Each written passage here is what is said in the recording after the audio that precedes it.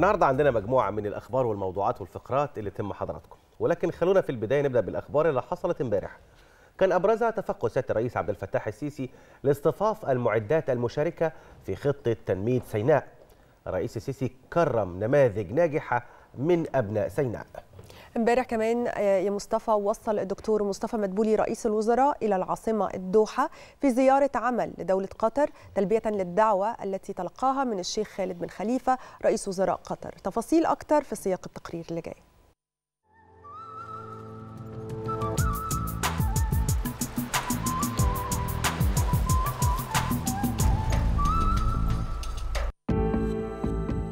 في مجموعة من الأخبار المهمة اللي حصلت امبارح. أبرزها تفقد الرئيس عبد الفتاح السيسي اصطفاف المعدات المشاركة في تنفيذ خطة الدولة لتنمية وإعمار سيناء. وامبارح كرم الرئيس عبد الفتاح السيسي عدد من بطلات وأبطال مصر من سينا اللي لم تفلح تهديدات الإرهاب ولا رصاصاته في إثناء كل منهم عن تأدية أمانة المسؤولية الوطنية والإنسانية. وامبارح في بداية فعاليات اصطفاف المعدات المشاركة في تنفيذ خطة الدولة لتنمية وإعمار سينا طلب الرئيس عبد الفتاح السيسي من المشاركين الوقوف دقيقة حداد لأرواح الشهداء. وقال نقف دقيقة حداد وتقدير واحترام لأرواح الشهداء كل الشهداء شهداء مصر من الجيش والشرطة والقضاء من أبناء سينا. كل اللي ضحوا من أجل أن نقف اليوم الوقفة دي علشان نقول بداية جديدة لأرضنا اللي كادت تفقد منا.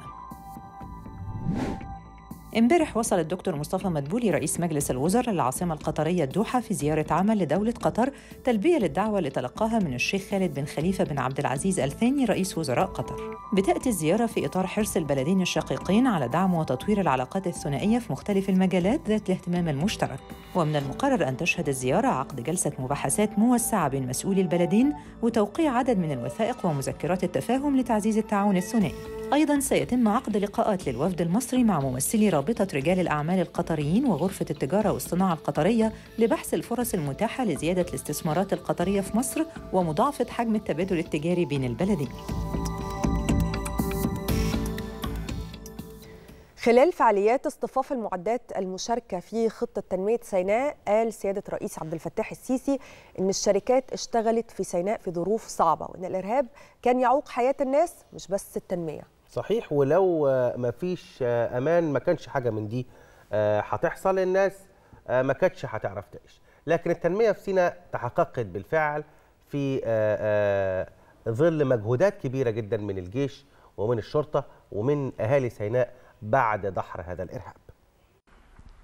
على ان أنتوا كنتوا بتشتغلوا فعلا في ظروف صعبة ويمكن إحنا لو قلنا لبعضكم يعني اتكلم على الحوادث والإعاقات اللي تمت أثناء شغلكم في في السنين اللي فاتت هنسمع كلام كتير قوي اللي اتخطف قريبه واللي اتخطف ابنه واللي واللي. واللي اتحرقت له معدات واللي حذر من إن هو ما يكملش وعشان كده الحقيقة الفكرة هنا إن إحنا النهارده بعد بعد ما ربنا سبحانه وتعالى وفقنا وزي ما أنتم بتقولوا كده إن الإرهاب اللي كان موجود واللي كان بيعيق الحياة مش التنمية بس الحياة حياة الناس.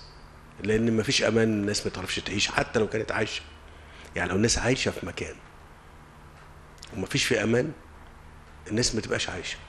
فالحمد لله رب العالمين اللي تحقق ده بفضل الله سبحانه وتعالى وبفضل الجيش والشرطة وبفضل أيضا أبناء سينا لما اجتمعت القلوب قلوب الناس كل الناس على قلب رجل واحد اتحلت المسألة. كلم سيادة الرئيس أيضا امبارح عن وعي المصريين اللي دايما لا يتأثر بالشائعات. وقال كمان انه لغايه دلوقتي حجم الشائعات والأكاذيب والإفتراءات غير طبيعي وآخرهم قناة السويس والشائعات اللي ترددت بخصوص بيعها. أنا عايز أقول لكم على حاجة. وأنتوا وإحنا هي الحرب بتاعت الإرهاب. خلصت. طب ما لغايه دلوقتي في حجم من الشائعات والأكاذيب والإفتراءات غير طبيعي. آخرهم الكلام اللي اتقال خلال الأسابيع الثلاثه اللي فاتوا ولا الشهر اللي فات لما اتقال ان إن قناة السويس وكلام يعني يعني أنا عارف إن المصريين منتبهين لده ومش هيصدقوه. لكن اتقال كده اتقال إن إحنا بنفكر نبيع قناة السويس. وفي عرض مش عارف إيه في حتى عملوا لي عملوا عملوا لي يعني جمعوا كلامي ده وعملوا منه فيلم كده وخرجوه على إن إحنا الكلام ده أنا قلته يا محمد. قال لك بتريليون دولار. الموضوع هيتباع بإيه؟ تريليون دولار هنبيع القناة.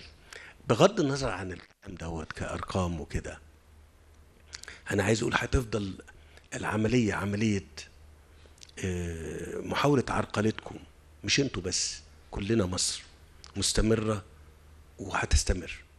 وبالتالي إحنا محتاجين دايما مش هقول وعينا يبقى موجود لأن الوعي الحمد لله رب العالمين موجود لدى كل قطاعات الشعب المصري. كمان امبارح سيادة الرئيس قال إن التخطيط لتنمية أعمار سيناء ليس متواضعا وانه المشروعات بيتم تنفيذها بشكل يليق بأبناء سيناء ومصر. صحيح وقال أيضا إن في أراضي زراعية ستدخل الإنتاج الفعلي في سيناء في نهاية العام الجاري. إحنا بنتكلم في تخطيط اتعرض علينا يا دكتور مصطفى ون وهيئه المجتمعات ووزارة الإسكان ووزارة النقل ووزارة الري وزاره الزراعة كل الوزارات كانت آه، مشتركة معانا في الموضوع دوت. إحنا بنتكلم على تخطيط آه، يعني بقوله لكل المصريين مش تخطيط متواضع يعني. لا لا إحنا بنتكلم لما الدكتور مصطفى بيقول هنا 600 700 ألف فدان إجمالي ال- الأراضي الزراعية اللي حت المفروض إن إحنا نتمنى إن على آخر السنة دي مش كده يا أحمد؟ على آخر السنة دي. على آخر السنة دي تكون المية موجودة سواء من المحسمة أو من محطة بحر البقر والخط بس الناقل ده اللي كنا إحنا آه، عايزين نشتغل آه، نخلصه في أسرع وقت ممكن. دلوقتي ما بقاش فيه مشكلة. نقدر نقول النهارده إن هيبقى فيه كمية أراضي نقدر إنها تدخل لل للإنتاج على نهاية السنة دي إن شاء الله. أنا بتكلم هنا على سينا مش بتكلم على توشكا ولا الوادي النطرون ولا لا أنا بتكلم على سينا بس بنتكلم في 600 ألف قديم وحديث يعني.